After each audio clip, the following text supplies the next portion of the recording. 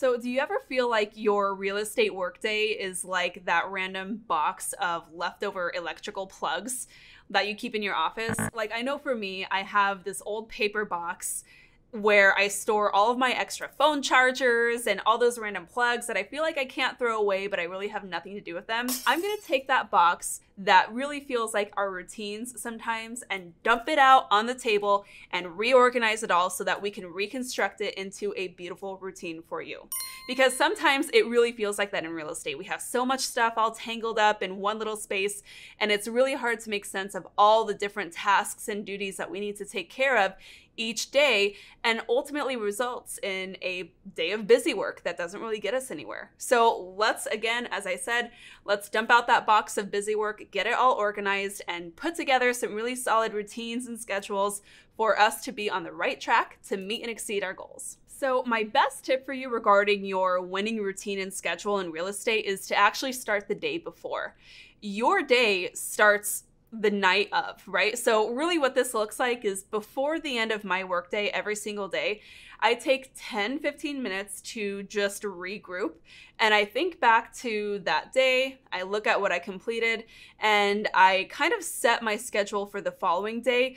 And it's really simple. All I'm doing here is indicating my top three priorities for the following day so that when I wake up in the morning, I kind of have an understanding of what I need to get done. And I'm not going to spend 20 or 30 minutes sifting through that box of cords for that analogy, trying to figure out which one makes the most sense to plug in at that moment. I think that this is one of the most worthwhile things that you can do because we know how quickly our day can get ahead of us. And a lot of times when we don't have that set schedule and we don't know what our priorities are for the day, what do we do? We either get lost in our inbox and start like messing around in there or we get lost on the scroll on social media just trying to feel productive and like looking for a lead. So that's my first tip. Start the night before, take 10 or 15 minutes, review your schedule, and identify your top three daily priorities. Now, if you're already doing something like that, but you're coming up with a list of like 10, stop that. We're going to do three because you know it always takes way more time to get any one thing done.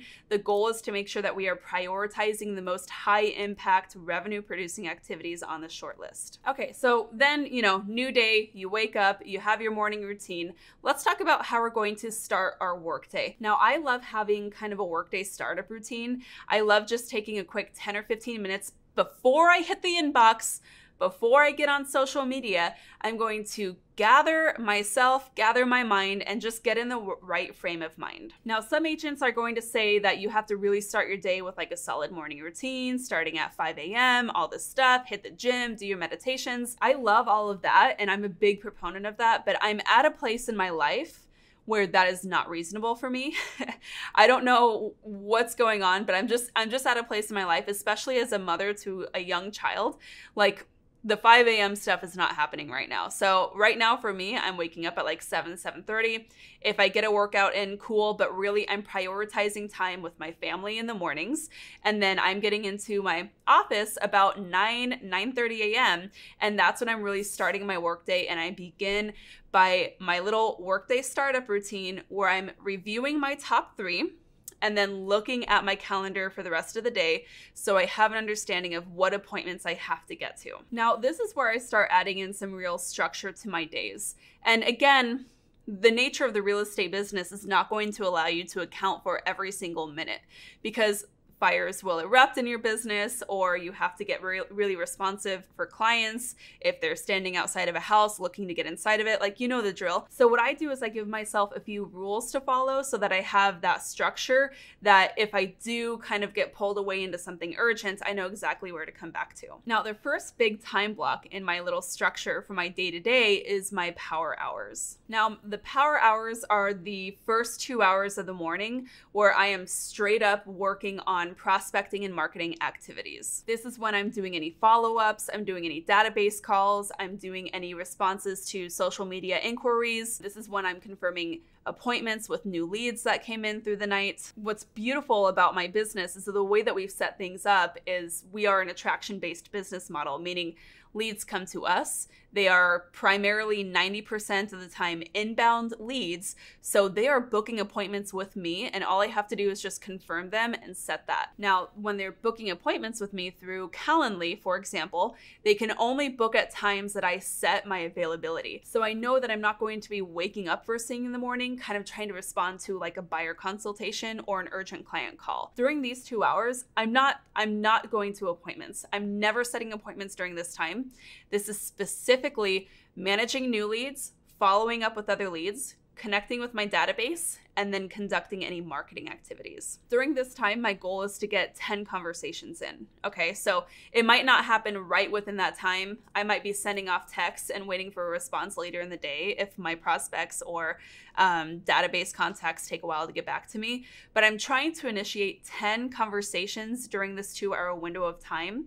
And then also, I'm trying to accomplish one marketing task. So maybe this looks like sketching out an email newsletter to send out for the month, or maybe this looks like doing my social media posting during that time on Instagram or TikTok. So, again, these are activities specifically fueling the fire for your business. And so I know even if my day totally goes off the deep end after this, I got the most important things done during those two hours. So you can check out this video here where I go a little more in depth into power hours. I really kind of break it down into like what activities you should be doing. I could talk about this stuff a lot, but you should know that there is not one way to do this. Um, when I'm working with agents in the Market Authority Academy, we help them create specific power hours that actually reflect their goals and their business and what opportunities they have. So if any coach or guru is coming to you saying like just painting with a broad brush and saying this is what you should be doing, they're probably not totally there, right? Like it's it's not going to really work for you. And this is why a lot of agents wonder like, well, I'm making my calls, I'm doing all this work and it's not leading anywhere. You have to tailor your prospecting activities to your goals or else it's just not going to click. As we get into the afternoon, the first things that I'm going to do is really just take some time for myself. So sometimes I have a lunch by myself or a lunch with my son or my husband and I really just make sure to nourish myself. I'm really bad at forgetting to do this and then sometimes not eating until like 3 p.m. And if I do that, my day is over. And so I really do prioritize nourishing myself. And so you should be scheduling in a block for your lunch. But if you still feel like you should be doing something to stay busy during this time, then you should be breaking bread with somebody else. So this is a great time to get a face to face in. So anytime I'm meeting with other colleagues or meeting with other prospects and it's more of a social visit, like nurturing a relationship, I'm scheduling that over a lunch, right? Like I'm going to make sure that we're going to go on a nice lunch date or get a nice coffee and a snack and make sure that if I'm getting those face to faces in, we're also going to do it in a way that's going to cultivate deep connection. And there are studies made on how that happens while you're breaking bread or eating with somebody. It's it's a, a very connective human experience to share food with somebody and obviously not like spoon feeding each other, but you know what I mean, sharing a meal with somebody is a great way to cultivate deep connection and we want to make sure that we're making space for that. So if i'm not having a little lunch date with um, somebody i really care about in my family then i might also make sure to include a lunch date a couple times a week with another colleague or somebody that i'm networking with. And then the rest of the afternoon is left for appointments. So this is your time to be zipping around town doing all the things that you need to do. Showings appraisals inspections whatever you have going on that is where you're going to do this for example, any of my buyer consultation calls or seller interviews, I'm doing those all in the afternoon. I'm again not doing it during my morning work.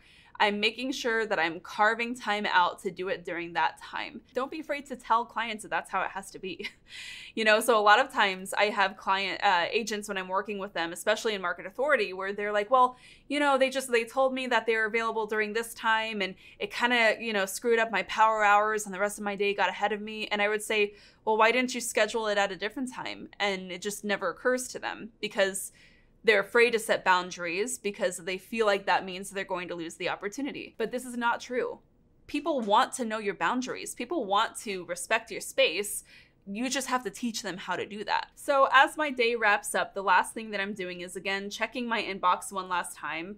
I'm not in my inbox throughout the day. I might check it two to three times throughout the day just to make sure there's no crazy fires going on that I have to be involved with. If there is something going on, people can reach me on my phone. So I'm not glued to my inbox, but I might check it through the end of the day just kind of wrap up any communications that I need to. And then from there, again, I'm setting my top three for the next day and I'm closing my laptop and I'm spending the evening with my family. From 5 to 8 p.m., I, I, do not exist to the world. I am making dinner. I'm taking my son on a walk. We're hanging out. It's family time. I don't need to be working 24 hours of the day because if you're doing that, you're really not doing anything impactful enough to your bottom line. You're just doing busy work. I promise. That's just the way it is. And so that's when all notifications are off and I'm totally focused on my family. After my son goes to bed at 8, I might get back on the computer and do a few things. Otherwise, I'm doing my evening routine and getting a good night's sleep, prioritizing my rest, and making sure that I am fresh and ready for the next day. And there you have it. I really hope that this helped and I hope that this gave you some perspective on how you can create a really solid structure around your day while still giving you the flexibility to kind of move with the demands of the public, of the industry, of the market. We know how it is. It's really crazy. But again, as I said at the top of this video, the most important thing is just creating some guide rails so that you know where to go back to if your day gets away from you. Because you won't be able to follow this 100% of the time. If you're able to follow this structure like 80% of the time, you're going to do great. And this is going to help you feel way more on top of things. And it's going to give you that margin that you need to have the mental bandwidth to get all the right things done for your business. Now, if you're struggling here and you need to take this a step further, we can talk. So, in the Market Authority Academy, I work directly with agents to help them create these schedules that actually work for them. And I walk them through a series of intensive exercises to actually understand exactly what their most high leverage activities are so that there's no guessing games and no overwhelm when it comes to dumping out the box of cords and trying to untangle everything that you feel like you've got to get done, right? So if you need a little bit of help here, all of the details to book a time to chat with me regarding the Market Authority Academy are below. The way that works is you choose a time that works with you. We hop on a call. I hear about what your challenges are, and then if it seems like I can help, we'll take it from there. Thanks so much for tuning in, and until next time, keep on crushing it.